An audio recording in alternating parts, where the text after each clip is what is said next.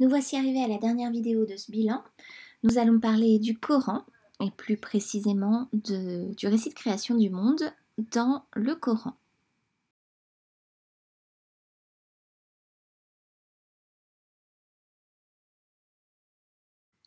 Donc la religion musulmane, c'est-à-dire l'islam, est apparue vers 570 en Arabie et c'est Mahomet qui est le fondateur de cette religion.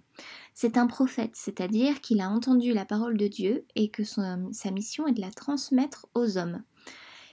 Et donc, euh, il aurait reçu cette révélation en 610 et il, il aurait retranscrit la parole de Dieu dans le Coran, qui est le livre sacré des musulmans. Donc, comme la, religion juive et la religion chrétienne, l'islam est une religion monothéiste, où on ne reconnaît qu'un seul Dieu, et son nom est Allah. Petit à petit, la religion musulmane prend de l'ampleur, et aujourd'hui, euh, elle est présente dans de nombreux pays. Alors parfois, euh, l'État et le pouvoir politique sont dominés par le pouvoir religieux, et parfois, euh, c'est le pouvoir religieux et politique qui sont séparés. En tous les cas, dans 43 pays, les musulmans représentent plus de 50% de la population.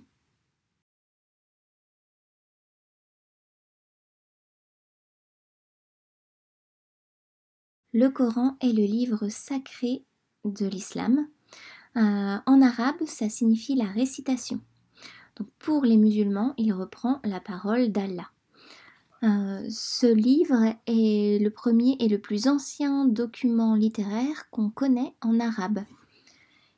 Et donc, euh, il est divisé en plusieurs parties qu'on appelle des sourates. Du vivant de Mahomet, euh, le Coran a d'abord été un message oral délivré en langue arabe, et les premiers adeptes euh, qui ne savaient pas lire ni écrire connaissaient par cœur les révélations transmises par Mahomet. Les croyants les plus instruits ont commencé à retranscrire par écrit des morceaux euh, du Coran euh, sur des supports très variés, des os plats, des morceaux de terre cuite, des parchemins. Et ces écrits servaient à mémoriser le Coran. Euh, il n'existe pas de livre qui contienne réellement tous les versets du Coran.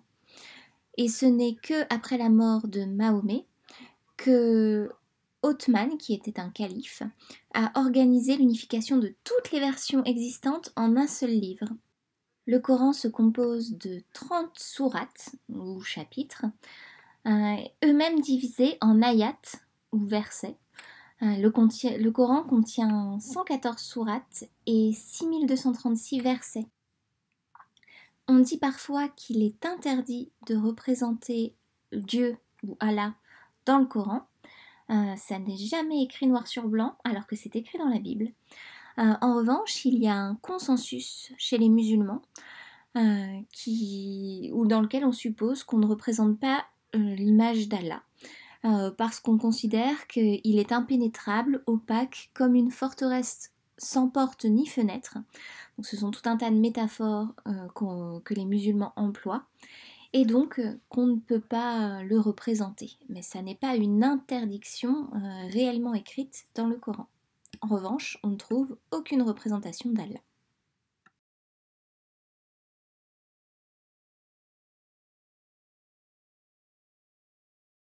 Vos camarades avaient à travailler sur différents extraits du Coran, donc des extraits des sourates 2 et 7, dans lesquels on raconte un peu comme dans la Bible que Allah a créé les cieux et la terre en six jours, puis s'est établi en majesté sur le trône.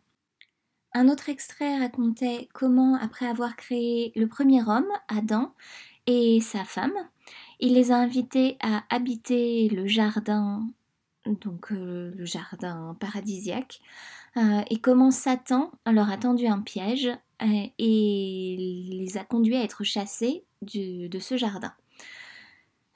ensuite, un autre passage raconte l'histoire de Noé et comment Allah a demandé à Noé d'essayer de rappeler aux hommes qu'il fallait lui obéir, qu'il fallait l'adorer, et comment les hommes, ne l'ayant pas écouté, Allah s'est mis en colère et a décidé de déclencher le déluge.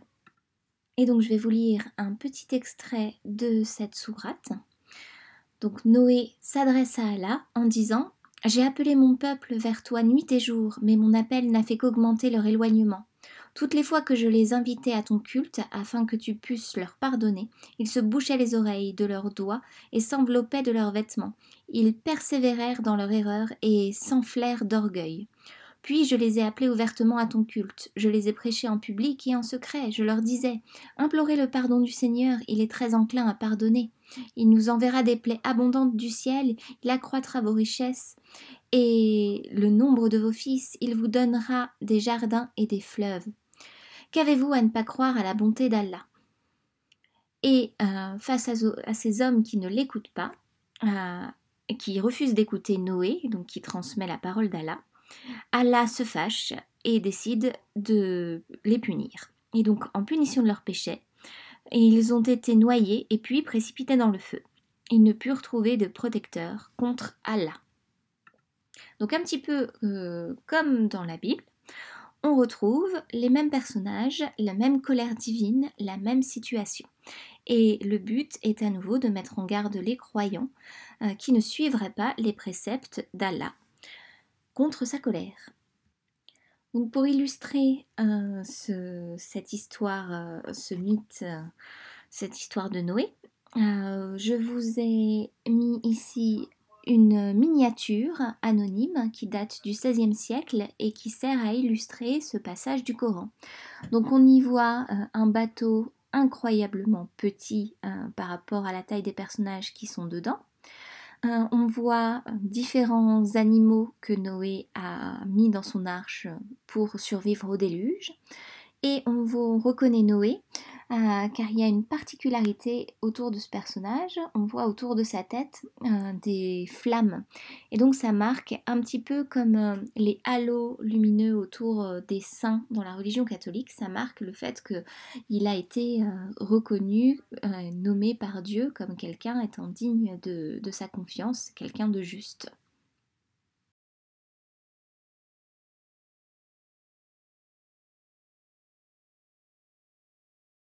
Donc nous voici au terme de ce bilan sur les différents récits de création. Vous pouvez prendre une dernière fois votre fiche bilan et la compléter euh, pour ce qui est du récit de création euh, qu'on trouve dans le Coran et résumer en quelques phrases qui sont les personnages principaux, que se passe-t-il et pourquoi cela se produit-il.